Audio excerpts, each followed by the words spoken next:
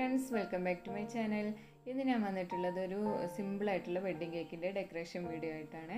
അപ്പോൾ ഈ ഒരു വീഡിയോയിൽ ഗോൾഡൻ ടെസ്റ്റ് വെച്ചിട്ട് ചെയ്യണത് ഞാൻ ഡീറ്റെയിൽ ആയിട്ട് തന്നെ പറയണുണ്ട്. പിന്നെ വൺ കെ ജി ആണ് ഈ ഒരു കേക്കിന് കൊടുത്തിട്ടുള്ളത് വെയിറ്റ്. അപ്പോൾ ഈ ഒരു കേക്ക് എങ്ങനെ ചെയ്യണമെന്ന് നമുക്ക് നോക്കാം. പിന്നെ ഈ ഒരു വീഡിയോയിൽ കേക്കിന്റെ ഡെക്കറേഷൻ മാത്രമേ കാണിക്കണുള്ളൂ. കേക്ക് ഫൈനൽ കോട്ടിംഗ് ഒക്കെ കഴിഞ്ഞിട്ട് ഫ്രിഡ്ജിൽ വെച്ചിട്ടുണ്ട്. കെ ജി വൈറ്റ് ഫോറസ്റ്റ് ഫ്ലേവറിലുള്ള കേക്കാണ് അപ്പോൾ ഞാനിവിടെ കൊടുത്തിട്ടുള്ള ഗോൾഡൻ ഡസ്റ്റ് ആണ് യൂസ് ചെയ്യണത്. ഇതിന്റെ മുകളിലായിട്ട് സ്പ്രേ ചെയ്ത് ഒരു ഗോൾഡൻ കളറാണ് മുകളിൽ വന്നിട്ടുള്ളത്. അപ്പോൾ അതിന് വേണ്ടിയിട്ട് യുവാബ്രിക്സും ഗോൾഡൻ ഡസ്റ്റും കൂടി മിക്സ് ചെയ്യണം. അപ്പോൾ ഞാനിവിടെ ഗോൾഡൻ ഡസ്റ്റ് കളർ മിസ്റ്റിന്റെ അല്ല സോറി മാജിക് കളേഴ്സിന്റെ ഗോൾഡൻ ഡസ്റ്റ് ആണ് യൂസ് ചെയ്തിട്ടുള്ളത്. അപ്പോൾ അതിലേക്ക് ഇവാപ്രക്സ് കുറേശ്ശെ ആയിട്ട് ആഡ് ചെയ്ത് കൊടുക്കുക ഒന്നിച്ചിട്ട് കുറേ ആഡ് ചെയ്ത് കൊടുക്കരുത്. ഇത് ഇവാപ്രക്സ് കൂടി കഴിഞ്ഞ് കഴിഞ്ഞാൽ എന്താണ് ഇത് കേക്കിൽ നിന്ന് ഒലിച്ചു പോവാനും അതുപോലെ ഇവാപ്രക്സ് കുറഞ്ഞ് ഡസ്റ്റ് കൂടി കഴിഞ്ഞ് കഴിഞ്ഞാൽ പമ്പ് ചെയ്യണ ടൈമിൽ പമ്പ് ചെയ്യാൻ പറ്റായും ഒക്കെ വരും. അപ്പോൾ അതിന് കറക്റ്റ് രണ്ടും ഈക്വൽ ആയിട്ട് വേണം നമ്മൾ എടുക്കാൻ. ഇവാപ്രക്സ് എത്രയാണോ അപ്പം നമുക്കിങ്ങനെ മിക്സ് ചെയ്ത് കഴിഞ്ഞ് കഴിഞ്ഞാൽ അതായത് രണ്ട് മൂന്ന് പ്രാവശ്യമൊക്കെ മിക്സ് ചെയ്ത് കഴിഞ്ഞ് കഴിഞ്ഞാൽ നമുക്ക് മനസ്സിലാവും ഇതിന്റെ ഇത് എത്രത്തോളം കട്ടിയിലാണ് നമ്മളിത് അല്ലെങ്കിൽ എത്രത്തോളം ലൂസിലാണ് നമ്മളിത് യൂസ് ചെയ്യേണ്ടത് എന്നുള്ളതൊക്കെ നമുക്ക് മനസ്സിലാവും. ഫസ്റ്റ് രണ്ട് മൂന്ന് പ്രാവശ്യമൊക്കെ ചെയ്യുമ്പോൾ എന്റെ അതും ആണെന്നുണ്ടെങ്കിൽ ഫസ്റ്റ് രണ്ട് മൂന്ന് പ്രാവശ്യമൊക്കെ ചെയ്യുമ്പോൾ കേക്കിൽ നിന്ന് ഒലിച്ചു പോയിട്ടും പിന്നെ പമ്പിൽ നിന്ന് പമ്പ് ചെയ്യാൻ പറ്റായും ഒക്കെ ഉണ്ടായിരുന്നു. അപ്പം ഫസ്റ്റ് രണ്ട് മൂന്ന് പ്രാവശ്യമൊക്കെ ഒന്ന് ഫ്ലോപ്പായി പോവും പിന്നെ അങ്ങോട്ട് റെഡി ആയിക്കോളൂ കേട്ടോ അപ്പോൾ ഇനി ഇതിനെ നമുക്ക് നല്ല കൂളായിട്ടുള്ള കേക്കിലേക്ക് അത് ഇനി സാധാരണ നമ്മൾ ഒരു മണിക്കൂർ വെച്ചിട്ടുള്ള കേക്കായാലും കുഴപ്പമൊന്നുമില്ല. നേരിട്ടിട്ട് നമ്മൾ അതിലേക്ക് സ്പ്രേ ചെയ്ത് കൊടുക്കണം. ഇത് പമ്പ് ചെയ്ത് കൊടുക്കുന്നുണ്ട് അപ്പോൾ ഇങ്ങനെ പമ്പ് ചെയ്ത് കൊടുക്കുക. ഫസ്റ്റ് കഴിയുന്നതും കേക്കിലേക്ക് കാണാത്ത ഭാഗത്തായിട്ട് പമ്പ് ചെയ്യുക. അപ്പോൾ ഇത് ഞാനിപ്പോൾ ചെയ്തപ്പോൾ കണ്ടില്ല ഡോട്ട് ഡോട്ടായിട്ട് വന്നിട്ടില്ലേ? അത് ഒഴിവാക്കാൻ വേണ്ടിയിട്ടാണ്. നമുക്ക് കേക്കിലേക്ക് ഈ ഒരു എന്താ പറയുക മാനുവൽ എയർ ബ്രഷ് വെച്ചിട്ട് തന്നെ ചെയ്താൽ മതിയോ? എയർ ബ്രഷിന്റെ ആവശ്യമില്ലല്ലോ എന്നൊക്കെ കുറേ പേര് ചോദിച്ചിരുന്നു. ശരിക്കും പറഞ്ഞു കഴിഞ്ഞാൽ എയർ ബ്രഷും മാനുവൽ എയർ ബ്രഷും വെച്ചിട്ട് രണ്ടും രണ്ട് യൂസാണ് എയർ ബ്രഷ് വെച്ചിട്ട് ചെയ്യാൻ പറ്റുന്ന ചില എന്താ പറയുക ചില കേക്കിലൊന്നും നമുക്ക് മാനുവൽ എയർ ബ്രഷ് വെച്ചിട്ട് യൂസ് ചെയ്യാൻ കഴിയില്ല. അതായത് കളേഴ്സ് ചേർത്തിട്ട് ചെയ്യുമ്പോൾ കേക്ക് ഇത് നമ്മൾ ഒന്നിച്ചിട്ട് സ്പ്രേ ആയി പോവുകയാണ് ഒരു പോയിന്റിലേക്ക് മാത്രമായിട്ട് നമുക്ക് ചെയ്യാൻ പറ്റില്ല മാനുവൽ എയർ ബ്രഷ് വെച്ചിട്ട്.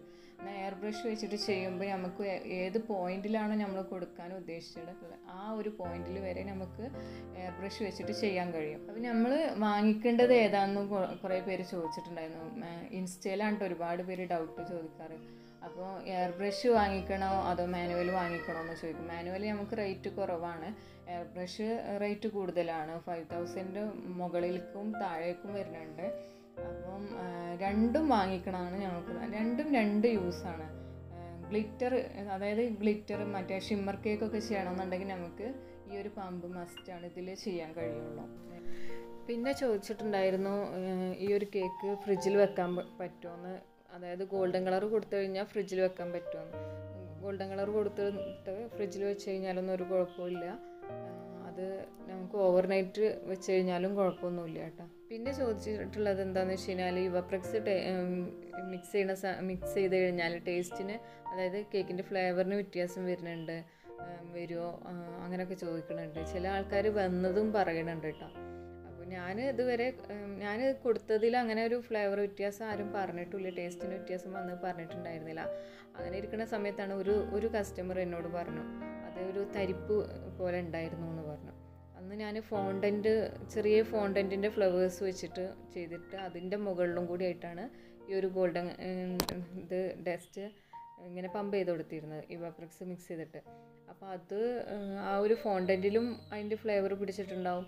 അപ്പോൾ അങ്ങനെ അവർ ചിലപ്പോൾ ആ ഫോണ്ടന്റ് കഴിച്ചപ്പോൾ നല്ല ഇങ്ങനെ തരിപ്പ് പോലെ വന്നിട്ടുണ്ടാവും. ചിലപ്പോൾ അതായിരിക്കാം. അങ്ങനെ പറഞ്ഞു. പക്ഷെ ഞാൻ ഒരു പ്രാവശ്യം ഇതുപോലെ വീട്ടിൽ ഫംഗ്ഷൻ ഉണ്ടാക്കിയപ്പോൾ കഴിച്ചപ്പോഴൊന്നും എനിക്കങ്ങനെ ഒരു ടേസ്റ്റ് വ്യത്യാസം തോന്നിയില്ല. പിന്നെ അതിന്റെ ഫ്ലേവറിനെ അങ്ങനെയുള്ള ഡീറ്റെയിൽ ആയിട്ടുള്ളതൊന്നും എനിക്കറിയില്ല. ചെറുതായിട്ടുള്ള ഒരു അറിവ് ഞാൻ ഞങ്ങളുമായിട്ട് ഷെയർ ചെയ്തിട്ടുള്ളൂ. അപ്പോൾ ഇതിന്റെ മുകളിൽ ഫുള്ള് ഗോൾഡൻ കളർ കൊടുത്തിട്ടുണ്ട്. ഇനി ഇതിന്റെ മുകളിലായിട്ട് കുറച്ച് ഫ്ലവേഴ്സാണ് വെച്ചെടുക്കുന്നത്. അപ്പോൾ ആർട്ടിഫിഷ്യൽ ഫ്ലവേഴ്സാണ് വെക്കുന്നത് ഇത് ഓൺലൈനായിട്ട് വാങ്ങിച്ചിട്ടുള്ള കേട്ടോ നല്ല നല്ല ഫ്ലവേഴ്സൊക്കെ ഓൺലൈനിൽ നമുക്ക് വാങ്ങിക്കാൻ കിട്ടും. പിന്നെ ഷോപ്പിലാണെങ്കിലും ഇപ്പോൾ അവൈലബിൾ ആണ്.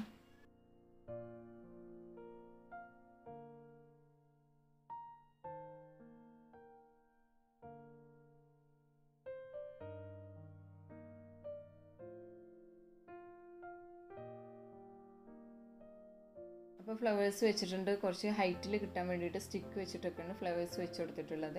പിന്നെ കുറച്ച് ലീഫ് വെച്ചിട്ടുണ്ട്. പിന്നെ ഇതുപോലത്തെ പിന്നെ ഇത് ഒരു എന്താ പറയുക നമ്മൾ വീട്ടിലൊക്കെ ഉണ്ടാവുന്ന ഒരു കാറ്റാടി പോലെയൊക്കെയുള്ള സംഭവങ്ങളില്ലേ? അപ്പൂപ്പന്താടി പോലെയൊക്കെ കുട്ടികൾ ഉണ്ടാക്കി കളിക്കണം ആ ഒരു സംഭവം തന്നെയാണ്. പക്ഷെ ഇത് ഡ്രൈ ആണ്. ഡ്രൈ ആയിട്ട് നമുക്ക് വാങ്ങിക്കാൻ കിട്ടണം. ഡ്രൈ ആയി ചെയ്തിട്ടുള്ളതാട്ടോ.